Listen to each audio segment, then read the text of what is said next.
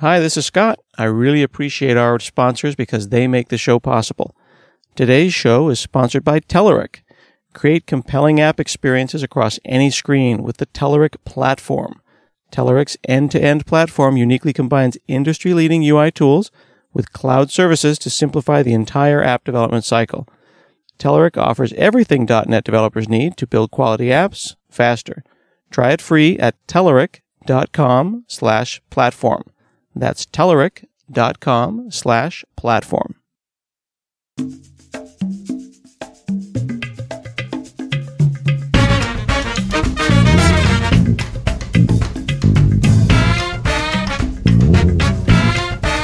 From HanselMinutes.com, it's Hanselminutes, a weekly discussion with web developer and technologist Scott Hanselman. This is Lawrence Ryan announcing show number 493. In this episode, Scott talks with Jacob Krall from Fog Creek Software about using the C Sharp Roslyn compiler to bring their older language, called Wasabi, up to date. Hi, this is Scott Hanselman. This is another episode of Hanselminutes. Today I'm talking to Jacob Krall from Fog Creek Software. How are you? Doing all right. How are you, Scott? I am pretty fabulous, and I like talking to people who are solving big technical problems with open source software. And uh, you all did something really cool with Roslyn, but I think we need to back up 15 years to really understand the context. yeah, that's true. Can't just start right at the end of the project, which was killing our compiler, Wasabi. You really have to start back in uh, about 2003 when Fog Creek Software had its first intern program. Um, we had an intern, we call him Jimmy, because that's really close to his name. And Jimmy knew Java. So Jimmy knew Java. I think that was Yeah. a book I read to one of my children. I bet it was, yeah. I forget how that one ends though. but we had FogBugz, which is a pretty successful bug tracker. Um, in 2003, we were doing great, uh, selling lots of software to Windows customers. Uh, it was written in VB script, which is the ASP server-side language uh, of the time. It was advanced for 2000, which is when FogBugz was first started. And we wanted to sell to customers who, for whatever reason, didn't have Windows on their servers. So we had Jimmy write a sort of half-baked compiler. It was it was a little bit stronger than just using regular expressions or something to translate from VBScript to PHP, but it wasn't like a full-strength industrial compiler or anything. Was it a, forgive my, my, uh, nit, but is it a compiler or a transpiler? Like, is it translating from one language to another or is it legitimately compiling? Well, I think a transpiler, this is something we debated about on Hacker News, um, a lot of us nerds on there. Uh, a transpiler is actually a strict subset of compilers. So all transpilers are compilers, but not all compilers are transpilers. I did not know that. Yeah. The, the difference between a transpiler and other kinds of compilers is only in what kind of generation phase it has. It still has a generation phase, so it still qualifies as a compiler. Hmm. Um, But are there, there are things, are there things out there in the world that people call compilers and it's just like, I hacked a bunch of stuff together to work?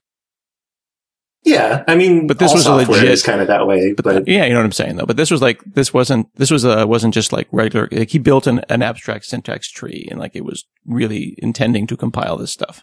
Right. Right. Yeah. That, that was the eventual goal for it. But he had three months and he knew Java and, you know, it wasn't like a huge general purpose programming language. It was, it had one job. It was to turn FogBugz from a VBScript app to a VBScript app that also ran on the PHP runtime. Mm. So he didn't have to do anything with like the math library or, you know, all these fancy things that VBScript can do. He just had to translate the parts that already had the same sort of thing happening in PHP. He just had to figure out which library function to call. Mhm. Instead of response.write, it would do print or whatever and things like that. And its job was to make FogBugz run, not to make any general purpose application run. Exactly. Yeah. It, had exactly one program that would ever run through it. So he could do all sorts of things, throw away all sorts of data that nobody else would blame us for doing because it just wasn't necessary for the process. Which is really And- nice because when you do something that's single task like that, like it makes your job a lot easier. It's just like very, it's very understood and finite. Here is the code that you have to translate. That is the sum total of everything that FogBugz is. Yeah, and that's been one of my favorite parts about working on Wasabi is that you can get away with some stuff like um, not having really general purpose features and just having really, really specific things to say, well, we know that FogBugz never has a piece of code like this, so I'm just not going to write, you know, the code that generates console applications. It's just not even in there. You can't have a main function. It has to, it has to be a library, basically. Um, so what happened? Jimmy tool, worked on this for a while and then yeah. it became something more. Did Jimmy leave? Yeah, Jimmy was an intern for the summer, um, and he left, and I think he's working in some global credit organization or something like that now, um, making tons of money. And um, when all was said and done, we probably would estimate it at like 20% of the effort for FogBugz 4, including all of the runtime work and all the things our full-time engineers did to get it out there and get an installer and all that sort of stuff for our non-Windows customers. And it brought in an additional, let's say about 10% of sales just on top of what we were already making. So, so then you've, so you've got a, uh, a compiler. It's written mm-hmm. in Java mm-hmm. and it takes VB script that was even written before 2003, like mm-hmm. in 1995, turns it into, you know, it's a tokenizer, it's a parser, it's a finite state machine. It turns it into PHP and now mm-hmm. it can run FogBugz without a rewrite of FogBugz, Runs right, it on yeah. Windows and Unix. And now there's a non-trivial number of people running your product on Unix and they are happy. Yeah, we had 10% growth by basically just porting with mm. a little compiler that an intern wrote in a summer. Okay. And then this goes on for a while. Um, and, uh, fog, this becomes fog basic is the thing that becomes yeah. wasabi. At this point, is it no longer VB script? It is its own thing. You have basically taken the language and kind of run off in another direction with it. Right. So the tool Jimmy wrote was called Thistle. And then around 2005, so maybe two and a half years after that internship, we wanted um, our new developer, Stefan Rusek, he wanted to add automated testing to FogBugz because, you know, that's something you want when you're writing software. So it only took us five years to get to that point.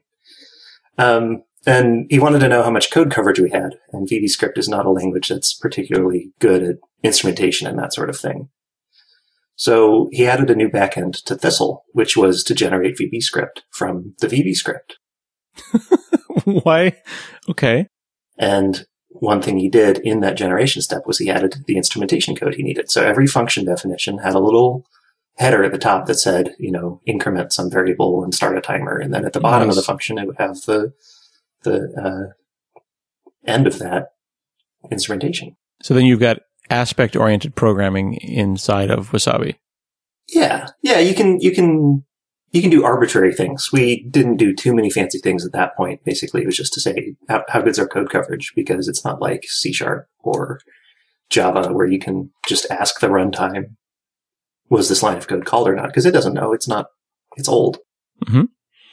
So then at this point, you're generating classic ASP, you're generating mm-hmm. PHP. Mm-hmm. JavaScript is probably coming along. Are you starting to generate JavaScript as well? That was kind of the next step. So the first thing we did was we added features. So we were still writing VB script, but we were writing VB script where you didn't have to declare your variable and give it its initial assignment on the different lines. So we added that feature, you know, pretty early on. I think I was an intern in 2006. I think I was the one that got really mad and requested that feature. I said, why do I have to say dim x new line x equals five? Um, we added do while loops instead of these really old school basic loops and for each and stuff like that. So they're kind of simple syntactic features that were just sugar on top of the language. Um, Stefan also added lambdas. So closures, basically first class functions um, to the language.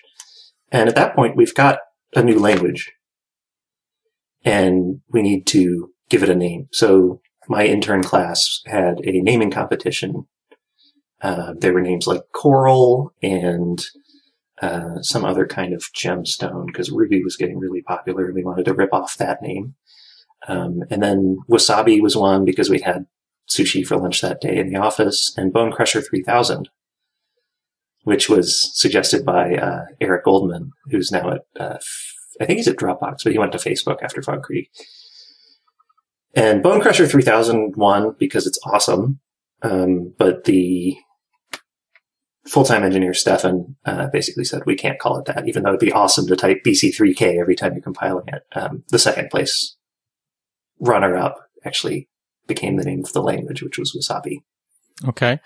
So at, at any point here, and forgive me, my job is to ask ignorant questions, but at any point, why didn't you just write the app over again in PHP or some language that is cross-platform and just leave it at that? Why play the compiler, make your own language game? That's a good question. Um, I think at that point, it was still kind of uncertain if there was a language that fit that need. Because the thing we liked about shipping VB script to our customers is that we would just ship source code in our installer and a little script that would bring up their database. We didn't have to install some huge funky runtime that wasn't part of their base Windows system. Oh, I see. So Windows people are 90% of your audience. So Mm-hmm. that bringing PHP over, bringing Python over is bringing a big funky runtime. Yeah, and they're kind of weird flavored to Windows developers. Like you say PHP in 2005, and the Windows Hmm. people say, I don't know, I heard bad things about that. I've heard, you know, it's got huge security holes and blah, blah, blah. Right. It was a different world and certainly PHP and, and even Rails. I mean, they can run fine on Windows Today, yeah. today, but yeah, this was 10 years ago. This was 10 years ago. And I mean, there's still things that don't run well on Windows, and that's something you have to be careful of if you want Right. to There's to pathing issues and uh, I've got a great PHP app that runs on Windows, but every once in a while, the guy that writes it will, uh, do something wrong with like backslash versus forward slash Yeah, and, and, and something will break. Because it, it, it's, I think uh, Joel Spolsky says it's like Japan versus the United States. We eat sushi and they eat hamburgers, but your default state is like Japanese people learn how to eat with chopsticks, and American people learn how to eat with a fork and a knife. And you can you can learn the other kind of as you get older, but it's still not your native Yeah. language. That's kind of the thing with Linux and I thought you were going to say that we just shove it into our face with our hands, but I'm, I'm with you at the fork. well, that's the correct way to eat Yeah. both sushi and hamburgers. But um, Yeah. Yeah. Well, my wife's father eats a hamburger with a knife and fork, but that's a whole other podcast. hmm, Yeah, believe me. Um, okay, so you've got wasabi, Mhm. and uh, it's starting to get uh, it's getting so big that you have to document it and like write a book about it. You Mhm. know, uh, and Yeah. uh, this is getting complicated. At the same time, though, .NET is starting to really take take hold, and C Sharp 2.0 is coming out. Mhm. Yeah, and I, I want to go back to one thing you said. You said that you thought maybe there was a JavaScript backend, Oh yes, and um, that was the time we almost made Node.js. So we had this idea over lunch one day that it was really annoying that you had to use two different languages to do web development. So there's no matter what you do, there's two different languages. It's, it sure felt like that, at least at the time. So on the server, we were doing Wasabi and we had a compiler and we thought, I don't know, why don't we just have Wasabi compile to both? And this let us do all sorts of really cool things for 2006, like have one piece of code generate a piece of UI. And then that same piece of code could be called uh, with an Ajax call hmm and get an update to that without having to request HTML from the server. So if you if you just had a piece of data, it could re-render itself using the same code, just generated in a different way. and everybody was poking at that problem in from different directions Mhm. around you know 2005 6 7 trying to Yeah. figure out like there was script script sharp and you know these different things where it's like gosh i've got this little runtime on the client Yeah. i've got this pretty good runtime on the back end they really should work together more and we should abstract that away and we had web forms and update panels and all these different attempts to abstract away things but it seems like the impedance mismatch was so great that, and the JavaScript of 2006 wasn't really awesome. hmm Yeah, that was just about when JavaScript, the good parts came out. So before that, we didn't know it had good parts. we were just using all of them kind of equally. Yeah, like the only thing that worked cross browser was apparently pop unders, yeah, because those were everywhere, right? right? And the alert dial, like, like that was like, I, I could make alert work reliably, Mhm. but nothing else. You know, Yeah. DOM access, no, unacceptable. No, because it was it was like slightly different on every browser. Was Mhm. the way to access the inner text of a node or something was different in Mozilla versus Internet Explorer. 6. So did you succeed in making JavaScript? Um, yeah, I mean, we were generating JavaScript reliably. Um, problem ended up being that nobody actually wants to write Wasabi code. Everybody just wants to write JavaScript and then do the same thing on the server. So that's why Node is out there and Wasabi is hmm one eighth open source and the rest of it is in the trash can. So at some point, someone must have thought that maybe we, FogBugz should stop depending on Wasabi and want to remove it, right? Yeah, that happened several times. Um, we had um, a try in 2001 called uh, Project Soy Sauce, I think. 2011. 2011, that's correct. Yeah. Um, Ted, Ted Yu, was, he's, he's now on one of the BSD teams, uh, and I'm going to insult him by not remembering which one. I'm sorry. Um, his idea was to take the FogBugz code compiled with Wasabi, which is now .NET at this point. That's when I joined the Wasabi team. Was we rewrote the entire backend. Um, so instead of generating PHP and VBScript and JavaScript, we generated a .NET DLL and then just run that on Mono or in Mhm. IIS. Which is still interesting to me because you are writing a new compiler to generate take Wasabi, which is the the core intellectual property. Uh, Wasabi is the thing that describes the intent that is FogBugz, Mhm. and rather than just writing it in C sharp Mhm. from scratch and like writing the new app, you wrote another. You you picked a new target, and now you generate C sharp. Yeah. And, you know, every time that happened, it was the sensible thing to do at the time because it was slightly less work, slightly less risk. Mm. And we have, Because the Wasabi strong- did express the intent correctly. yeah, exactly. And it had all the comments and it would just be, you know, the, the tools of the time just weren't quite there Mhm. to get us exactly the meaning out of the code that was written. Instead, it, it was like Ted's project, Project Soy Sauce, which was to take the .NET assembly, open it in .NET Reflector, export that to a C sharp project, Mhm. apply regular expressions. Uh, You had me then, right up until that part, right? yeah, well, he called it soy sauce, but that was kind of the magic, you know, Perl script he was going to use to translate it from this really janky C sharp output into professional looking idiomatic C sharp. And then the last bullet point on the list is uh, drink lemonade. but the the idea that you're using regular expressions to do this and not like the code DOM. Mm-hmm. Yeah. So I think I think he didn't want to work with that because it was just such a not easy to use API. You were basically, if you wanted to do anything that was outside the design of Microsoft Code DOM, Mhm. you were basically generating strings with the code that you meant to generate, and it just it Right. wasn't perfect. Well, and you've got um yeah, I, I understand. Okay. So the output of Wasabi was a .NET assembly, Mhm. then you want to change it to an output proper C sharp. Yes. You haven't quite got Roslyn yet. Roslyn is the open source in memory .NET compiler that we'll talk about in a little bit. Mhm. But you don't quite have the tools that you need. You don't have compiler as a service. You're still messing around with strings at this point. Yeah. So we were using for our .NET backend for Wasabi 3, we are using a technology called um, Microsoft Code DOM, Mhm. which is very, it's weird. It's a very weird concept. So It was a good idea at the time. yeah, I mean, it almost, Almost a good idea at the time. it was an idea at the time. It It certainly did things. I'm not sure I'm convinced it was a good idea, but it was an idea and it was done. It was not the So we idea used we deserved, but it was the idea we had. Yeah. The idea was that they would have basically an abstract syntax tree that you could programmatically generate, and then it would be able to compile to either C Sharp Mhm. or Visual Basic.NET, the same AST. Mhm. And what that meant was there was no way to do things that were not possible in one of those languages.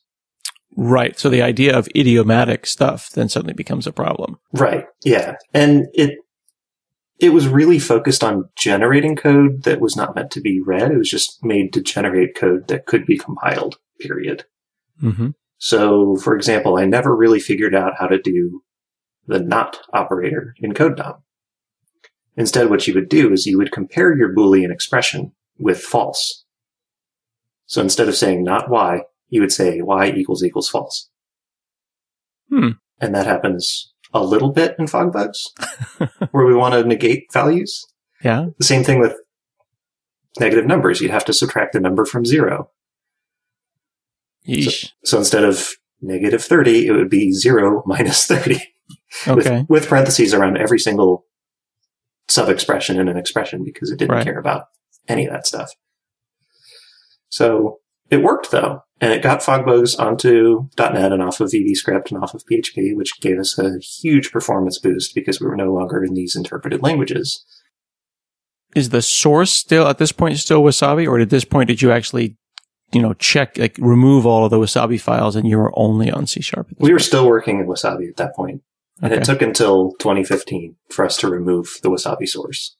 Okay, so you're still not at this point in the story. We're still not there. Mm-hmm. Yeah, Okay, and uh, Roslyn internally at Microsoft, there was a project that was called the Big Switch. Mhm. And the big switch was when we, I think it was about a year and a half ago. I can look online. They had, they did a blog post. It was the moment when we built, went from building everything with the original C sharp compiler to building to Roslyn. And there were all these emails that happened internally that were like, okay, get ready. The big switch is going to be flipped. You know, in, in a moment, we're going to flip the big switch. Mhm. And uh, it was, you know, it was a big deal because you needed nothing to break, right? You're, yeah, you're doing a brain transplant while the patient is walking around and talking about stuff. yes. I had So you had a similar a situation. very similar situation. It's a much smaller and slower patient, I think, because it was just FogBugz. It wasn't these huge multi-billion-dollar lines of business like Microsoft has. Mhm. But it was still kind of scary. I mean, we had pretty pretty good levels of trust because I did it in several phases. So starting in about February was when I started um, re, you know, changing the build process just slightly. So the first thing we did was we made um, MS Build generate just C sharp files Mhm. from Wasabi, which was always a capability it had. It just we never did it because the output was so unreadably bad. Um, but that was the first step. Was I just had it generate C sharp files and then called MS Build to say, "Hey, here are the C sharp files that make FogBugz. Can you build this, please?" Mhm. Um, and I fixed a bug where we were generating a bunch of unused labels just because I was in there. And then I created a new Mercurial, Mercurial repository and checked in that output. And so that was my baseline of Roslyn output. And then I copied the, or not Roslyn, sorry, code DOM output. Mhm. So I took the code DOM output and I started writing a Roslyn generator based on code DOM. And every time I made a fix to the Roslyn generator, I would check it into that repository and diff against the first revision to see how much more work I had left to do. Mhm. So it started, FogBugz is a, almost a million lines of code. It started with about 1.5 million lines of difference. Mm. So three quarters of the output was just wrong in some way or not matching exactly what code DOM said. Well, you also answer indirectly there the, my kind of one of my questions, my kind of ongoing question, which is why don't you just write this whole thing over again? Oh, It's a million lines of code. yes, that is that is So something This isn't we, just some CRUD application that just throws some bugs into a table. It's a big deal. Yeah, FogBugz is a huge application. Um, it has a email processing portion. It has a wiki. It has evidence-based scheduling, which is very complicated. It has a plugin architecture so that you could build a plugin that does basically anything because it's, you know, you're writing programs. And, you know, there's just lots and lots and lots of code. Um, and some of that is because Wasabi had a feature that would write code for you. But Mhm. C sharp, we don't have that. So I just generated it directly. And so there's 60,000 lines of code just right there for our database access layer. Wow. So Roslyn, the big switch happens internally. Roslyn becomes a thing that can really be used. Mhm. You've identified it. Have you been, were you on the cutting edge? Were you using Roslyn when it wasn't quite baked? Because we just kind of like quote unquote released it, you know, a couple of months ago. Yeah, I don't think it was. I don't think it was a, a full. I don't remember what version I was using, but it definitely said something like beta or pre-release on the NuGet package that I had installed in Wasabi. hmm And you didn't think anything of it? No problem. It's fine. I mean, I was I was looking at the output. We have a lot of code, and if something doesn't work, I'm going to notice it pretty quickly. Mhm. Um, and we use source control because we are modern developers from the 2000s, and we understand that if you make a mistake, you can always go back. So that's how we kind of developed um, a trust in the tool. Um, was March 4th was when I finally checked in the output from Roslyn and I ran Mhm. hg diff and it printed nothing. Did you believe that it was possible that you had done it correctly? Yeah, because I had done two and a half weeks of work to get to that point. Okay. like So there was no question when that happened. It was more, it wasn't like a sense of disbelief. It was a sense of accomplishment. Yeah, it was. It was more of a oh, finally, I can't believe it that I did this, but Uh-huh. I can believe that it's done because I don't want to not believe that anymore. So what about your original goal from the very, very beginning of this conversation, which is those 10% of people who want to run it on Linux? They can still run it on Linux. I mean, we write it in C sharp. We compile it to a DLL, and then Mm-hmm. you run that DLL on Mono, and it works as well as Mono does. Cool. So, so Mono works great for this and you found Mono to do its job fine. Because some people have said that maybe Mono isn't good for production. It's it's not the environment we run FogBugz on, so we don't get to dog food it very much. Mhm. So our in-house FogBugz instance is called our.fogbugz.com, Mhm. and that's running on Windows, of course. Um, so we don't run on Mono our business, so we, we definitely Sure. don't have so much trust in that. But what I'm saying is that you haven't had any issues. People haven't been saying, oh yeah, this randomly has a problem or, you know, the core dump here or there. I don't know. It's I have no experience running mono in production. I, I'm not trying to slander mono in any way. I think it's great. I think it's nice to hear that as Microsoft goes off and writes a core CLR, Mhm. and which I assume that you will target at some point, and then you'll switch running FogBugz over to the core CLR when it could possibly do that. Mhm. Um, mono's been working great for you for what sounds like some years. Yeah. Well, we're not using the tip of mono. That's that's the kind of scary thing is that we have a fork from basically 2010. Hmm. And we've been maintaining that and keeping that running. And That is a little concerning. yeah, um, just because it is such a large volume of work to get it to the latest version. I see. So And- switching to whatever mono is in 2015 from the personally maintained fork, it would be non-trivial. Yes, that would actually be more work than the work I did to switch from Code DOM to Roslyn. But but every day that goes by puts you farther and farther away. yeah, and we and have you- fewer and, and- fewer and- Linux customers. Yeah, and so then does that mean that the core CLR running on Linux reliably is your only out at this point? That would relieve the pressure of having to support mono. Yeah. Uh-huh. Have you run it on the core CLR yet and seen what works and what doesn't? Not yet. I should try that. That would be an. We'll leave that as an exercise for the reader. Yeah. Um, so that sounds like something that would be your next big project, wouldn't it? Because that would mean you could refactor via subtraction, where you would simply subtract your own personal branch of mono and not have to worry about it anymore. Yeah. And that's something personally I'm the best at is my most productive days are the days when I delete some huge component that is Mhm. now implemented by two lines of library code. It's just part of .NET now. And I can say, no, I Mhm. don't need this anymore. We've got lambdas in C sharp. Why was that? You know, why are we generating these magic, um, lambda classes in Wasabi? Um, I can see here on my calendar, March 11th, it just says lambdas. And I know that that means that's the day I turned them into C sharp lambdas. and it deleted probably 10,000 lines of code to be able to do that. Nice. So you also uh, released Wasabi's new code generator Mhm. as open source, which is cool. Yeah, it's on GitHub. And you said that you, and I don't know if this is true, but I think it's true. You said that this is probably the first real world transpiler that targets C sharp with Roslyn that's been open sourced. I don't know if that's true either, but I haven't seen any counterexamples. Well, this is the opportunity for people to come out and call you out. But Yeah. It seems pretty cool. Yeah, it is a very significant code generator, though. We are using it.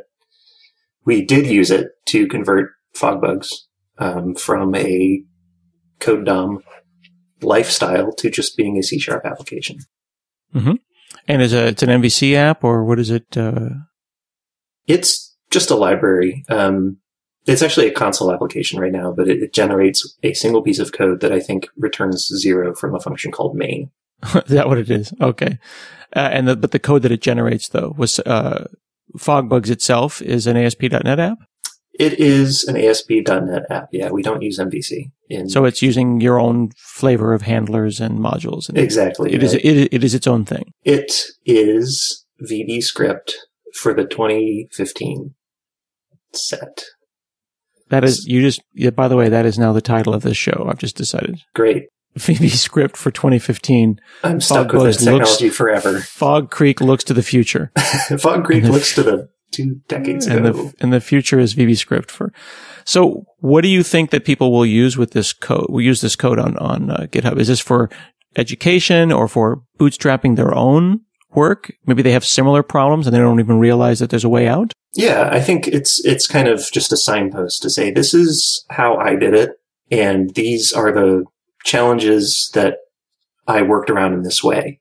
Mhm. So if they if if somebody wants to look at it and say, "Man, I just really need to write a .NET language right now," Mm-hmm. they can look at my backend and see how I did it using Roslyn instead of hand rolling their own with printf. You've got in here an importer, a lexer, a parser, an interpreter, a type checker, all of the different things available. So uh, you could probably teach a class on this stuff if you wanted to, couldn't you? I could. I've actually given a 30 minute talk called Let's Build a Compiler in 30 Minutes in JavaScript. Seriously. Yeah. And that's on my GitHub is the source code for that compiler. It's very, very simple. It has for loops and that's it. But we did it in 30, I think 32 minutes because we stopped for a question and debugging session in the middle. Uh huh. But it has a lexer, which takes characters and turns them into tokens, also called a tokenizer. It has a parser, which takes those and builds a syntax tree. It has a generator, which takes that syntax tree and prints out JavaScript. Mm-hmm. Very cool. Well, people, I will take the uh, links, by the way, to your talk, to your GitHub, and put it all in the show notes so that people can go and explore this code and check it out, as well as your two very good uh, blog posts up on Fog Creek called "Killing Off Wasabi," Mhm. parts one and two. Are there going to be more parts? Is this an ongoing saga that we should follow? I think Wasabi is pretty well in debt at this point, at Okay, least for good. fog bugs. Very cool. Well, thanks for chatting with me today. Thanks for having me. This has been another episode of Hanselminutes. We'll see you again next week.